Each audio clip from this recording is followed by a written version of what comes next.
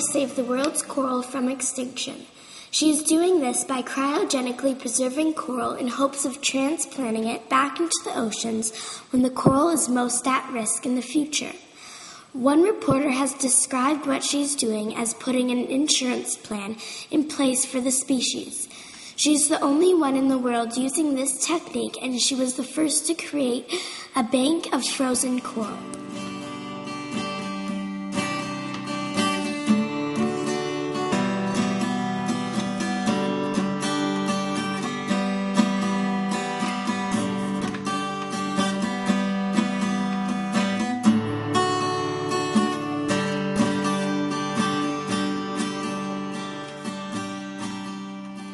Coconut Island is a research facility that Mary and her rescue team work at. It is located on the island of Oahu in Hawaii. It is a great place to study coral because there's more human related activity that affects the coral in Hawaii than anywhere else in the world. I had the honor of getting to meet Mary on Coconut Island and having a tour of the facility. It was an amazing experience that I learned a lot from.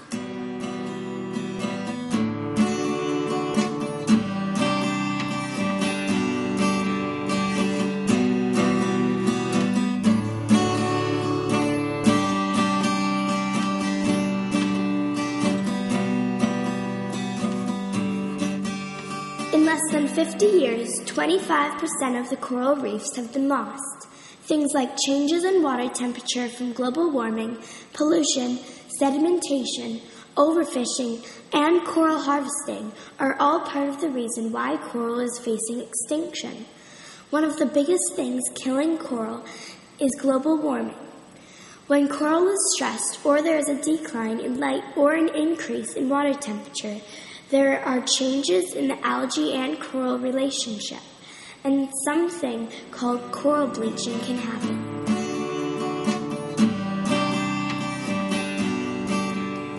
Coral reefs are made up of billions of skeletons from tiny creatures called polyps. They feed on algae. Coral forms the relationship between the animal polyps and the algae plants that lives on the coral. They both need clean water, just the right temperature water, and sunlight.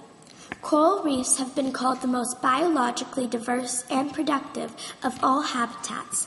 They've been compared to the rainforest of the land because of their diversity and the new species still being discovered. Um, as long, if we didn't have all these other things that we were doing to the coral, like we're warming them, which is stressing them, right? So again, everything's driven by fossil fuels and uh, you know, and, and the things we're putting in the atmosphere.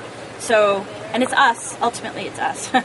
and so we're warming the air. But then, in addition, the, the really bad thing is that as we put more CO2, which is comes from the burning of gasoline and things like that, the ocean is grabbing that CO2 and pulling it down and acting as a sink. So the coral are very resilient, and if you do things locally, they can come back. But when you're doing things on a global level, which is what's happening to coral, um, you can't fix it. I mean, there's no place in the world that coral is not suffering now. You may not realize that you're destroying years of growth when you go boating, fishing, or diving where coral lives. These fun activities are not always so fun for the coral. You may crush coral without knowing or touch the coral, making it vulnerable to diseases or death. Whole colonies can die from sudden sicknesses. Coral has already had to deal with some natural threats, but now there are all these too. If nothing is done about this, there will be a huge extinction of coral. The Coral Reef Alliance describes a coral reef as a metropolis under the sea. So remember, it doesn't matter how far away the threat is, it will eventually make its way to the coral. We must help Mary save coral.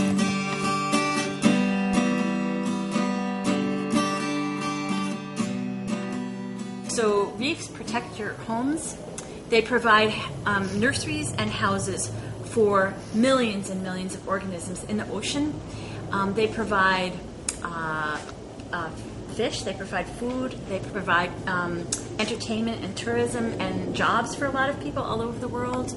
Um, they're a source of pharmaceuticals, you know, so there, there, there's already drugs that come from the reef. Um, that they use on HIV/AIDS, and, and um, so there's a lot of antibiotics that are in development now. In addition, just the and just the amazing uniqueness and beauty of the of the coral is is incredible. I mean, a, an ecosystem that's one of the oldest on Earth. It's 220 million years old. It would be like taking the Roman Colosseum and, and, and, allowing people to destroy it. I mean, it's important in terms of our heritage and, and how we see ourselves as humans. Sea animals are not the only thing that need coral. We need it just as much as they do. Coral is used in new medicines, creates oxygen, and purifies oceans. It is one of the most valuable resources out there. Take away the coral, and the whole ecosystem will fall apart. Coral reefs support 25% of all known marine life. So without coral, this marine life will lose their home, food source, and protection. Every marine animal is part of the reef ecosystem. So if the reef ecosystem collapses, then all the marine life will be a part of it too. Losing our reefs would mean losing a quarter of all known marine life. As one of my heroes has told me, remember to ask yourself, if not me, then who? When you're thinking about what you can do or how you can do something to change the world. We have um, the, the, problems with, with the ocean outracing our ability to, to, to, to do the conservation. So if we could just, you know, if we could just halt some of the problems right now for like say 10 years and allow us to catch up so that we could cryopreserve the coral really well, then we could go, I could train a lot of people all over the world and we could do this relatively quickly, and I mean like 10 years.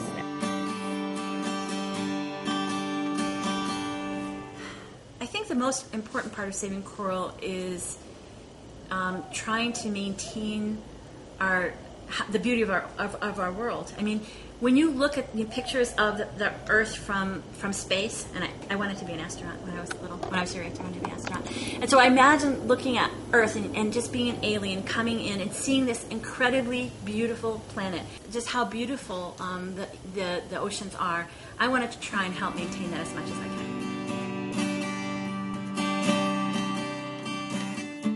Question because it's um, uh, number one, most people, a lot of people don't swim. They don't ever get out and see a coral reef. They don't. They don't even know that coral are alive. A, a major take-home lesson if, if, in this film is that coral is alive. It's not a rock or a plant. Although, if you look at the coral, the, the thing that makes them the color, they have algae that live inside of them. Um, so they are kind of like a plant. Um, but um, I think the, the, the, biggest thing that people can do is tr- to try and change their lives so they're not using fossil fuels as much.